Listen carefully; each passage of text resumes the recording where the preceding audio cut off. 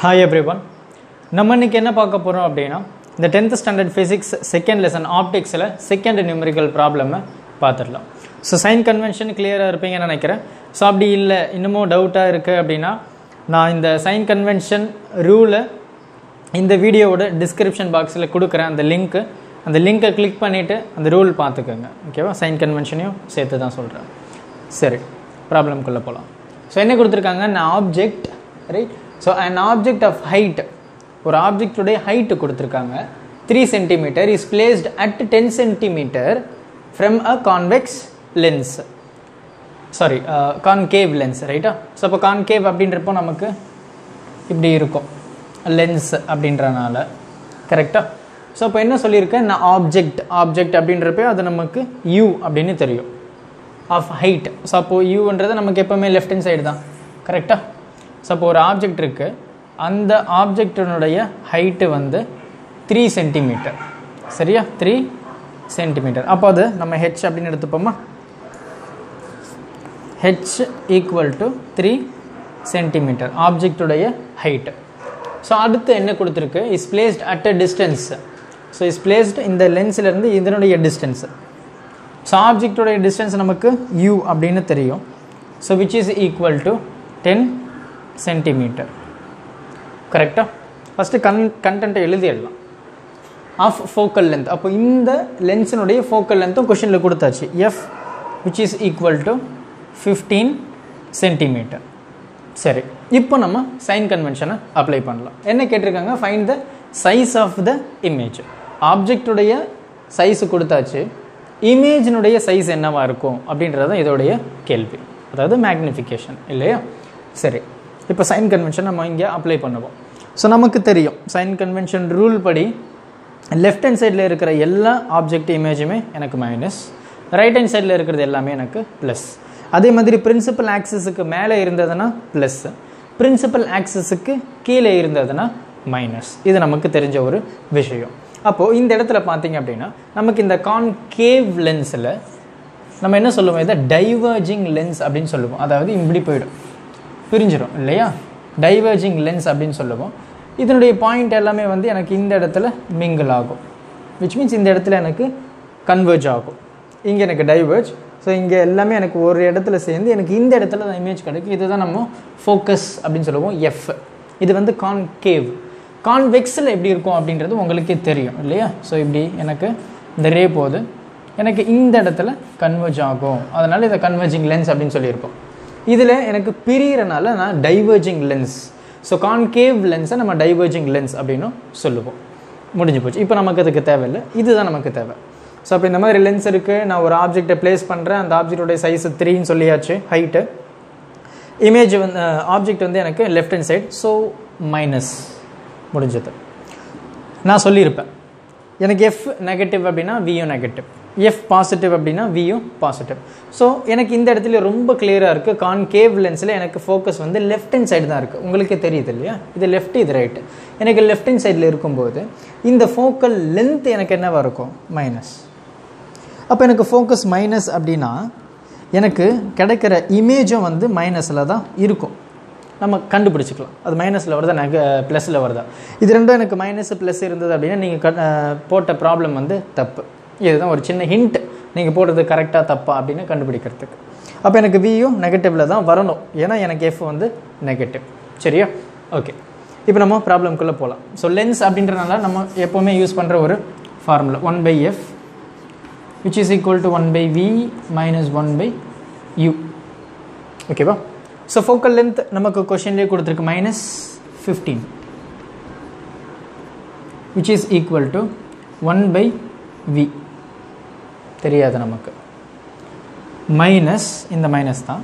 One by you என்னது? Minus ten ஓகேவா நமக்கு என்ன கேட்டிருக்காங்க? Size of the image size of the image தானே சார் எதுக்கு நான் சம்மந்தமே இல்லாமல் வியை கண்டுபிடிக்கணும் அப்படின்ற கேள்வி உங்களுக்கு வந்தது அப்படின்னா அந்த மேக்னிஃப் சைஸ் ஆஃப் த இமேஜ் மேக்னிஃபிகேஷனுக்கு நமக்கு ஒரு ஃபார்முலா இருக்குது M which is equal to H dash by H which is equal to V by U இந்த இது எம்மை தான் நம்ம மேக்னிஃபிகேஷன் அப்படின்னு சொல்லுவோம்.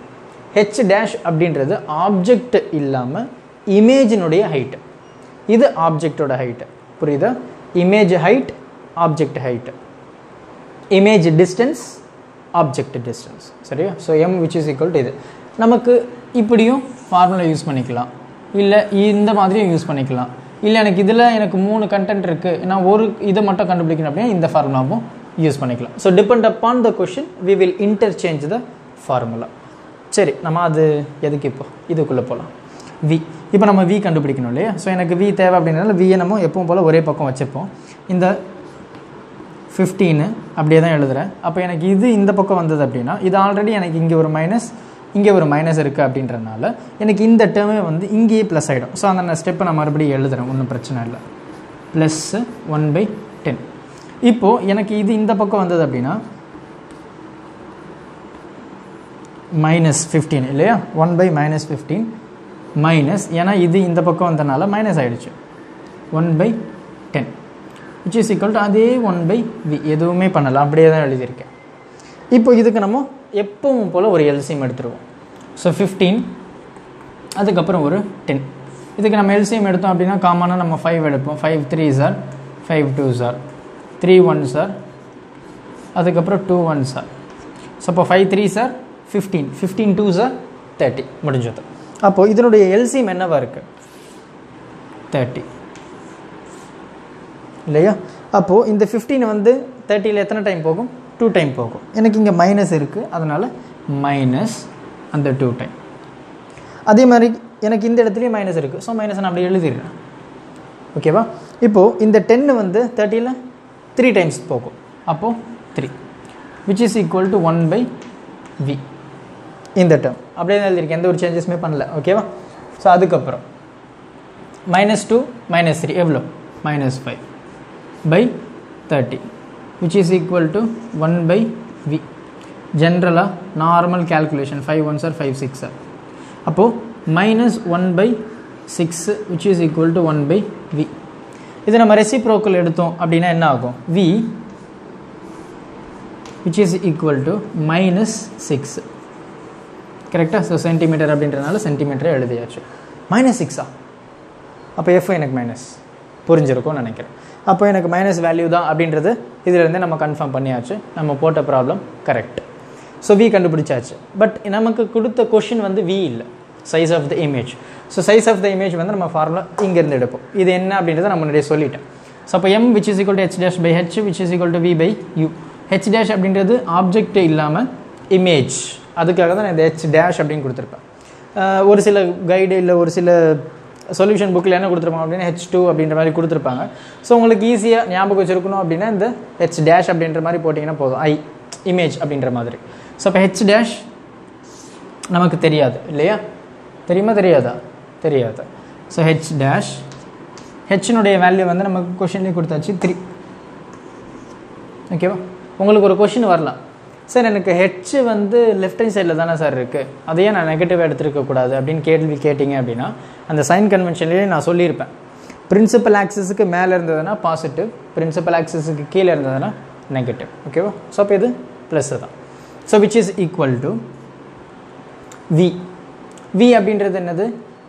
சாரி இமேஜ் இமேஜினுடைய டிஸ்டன்ஸ் ஸோ இமேஜ் டிஸ்டன்ஸ் இப்போ தான் நம்ம கண்டுபிடிச்சோம். மைனஸ் சிக்ஸ் அப்போ மைனஸ் சிக்ஸ் ஆப்ஜெக்டினுடைய டிஸ்டன்ஸ் வந்து கொஷின்லேயே கொடுத்தாச்சு. மைனஸ் டென் ஓகேவா இப்போ நமக்கு என்ன தேவை? ஹெச் டேஷு தேவை. ஏன்னா சைஸ் ஆஃப் த இமேஜ் அதாவது ஹைட் ஆஃப் த இமேஜ் வந்து கேட்குறாங்க அப்போ இந்த எனக்கு இந்த மைனஸ் இந்த மைனஸ் கேன்சல் ஆகிடுச்சு இல்லையா? ஸோ மைனஸ் மைனஸ் போயிடுச்சு.